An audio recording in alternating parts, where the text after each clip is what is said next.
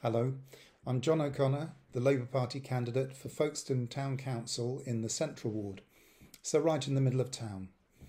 I'm talking about a few things that I think matter as part of living here and enjoying the town.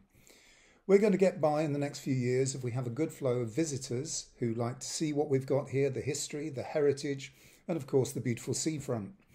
The heritage matters and the history matters, even if you're not a fan of all things old and ancient because they provide interest for somebody who wants to come and look around.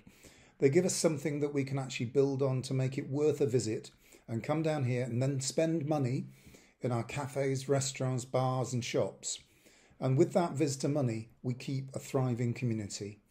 So, one of the things I'll do as a councillor is to help promote a good place to be, but also look after our heritage and history, along with all the others who really care about Folkestone. Thank you.